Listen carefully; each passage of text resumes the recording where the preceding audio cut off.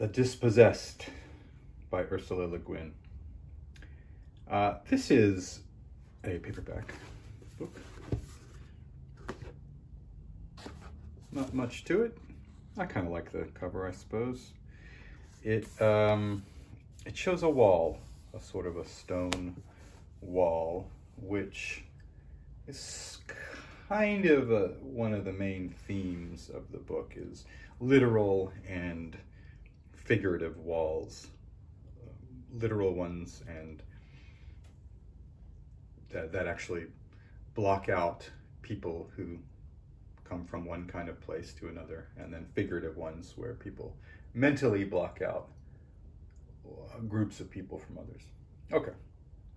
This is a pretty old book. It was written in the early 70s, and it was, as you can see there, a modern classic.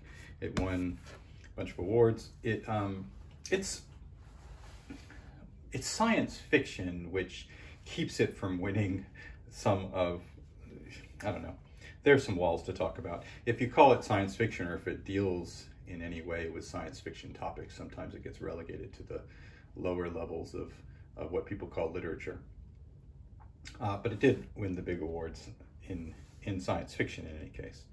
It's not much to see from the book itself. It's not illustrated. It's just a typical paperback book here.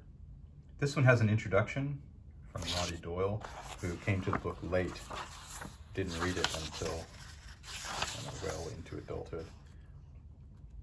Maybe even after uh, Le Guin died, I'm not sure. So the story itself is, it's a really, it, it's not much of a story. It's a guy who lives in one kind of society, basically, who goes to another kind of society. And so there's some plot, and there's a little bit of intrigue and a little bit of, I mean, not really any action to speak of. It's sort of just about his life and his way of thinking and, and where he comes from. But a lot of it is just long, just kind of, well, that makes it sound bad, but long descriptions kind of, of of what his society was like. His society is on a different planet, and it's uh, it's anarchistic.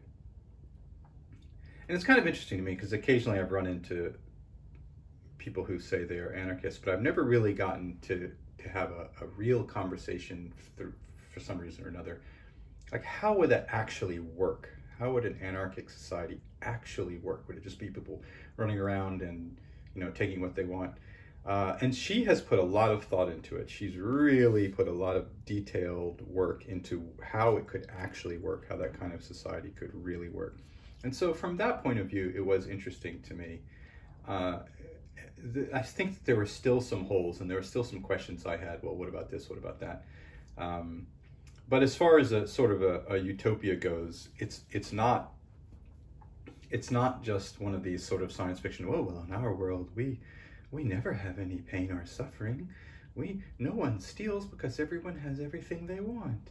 It's it's much more detailed and thought out by that, and takes into account human nature and the fact that some people are are greedy or rotten or whatever. Anyway, um, I I find it hard to recommend because so much of it I, I did find it interesting, but so much of it is is not really plot based. It's just sort of helping you understand the world that he comes from. And then and then he goes to the other world, which is more like our world.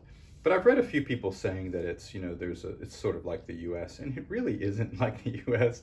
I don't know how people think that. Um, it, it, it is on the surface, but then suddenly some things happen that is very much would not happen in the U.S. and uh, and so I'm not sure, and, and, and that kind of takes away from it for me because it seems like this is a very advanced society that also is not very advanced in some in some ways that most of the world has already figured out by now. Why why didn't they figure this out thousands of years from now, or however long it's supposed to be? Anyway, uh, I find it, I, I read the whole thing, that is to say, it kept my attention enough for me to read it. I don't complete books that I'm not enjoying. And it was very interesting and interesting to talk about with people while I was reading it. But not as a novel. Um, I can't, I, I, it's, a, it's an interesting one. I enjoyed the book, but I, if I'm thinking about it as a novel, I'm not really sure how I feel about it in that way. Ah, so it's an interesting one. Uh, I, I suggest, you know, I don't know. I don't know. I, I guess I would say someone who's interested in what I've just talked about should definitely give it a read. But if you're looking for sort of a science fiction, interesting, you know, fun story kind of thing, this this might not be it. All right, The Dispossessed by Ursula Le Guin.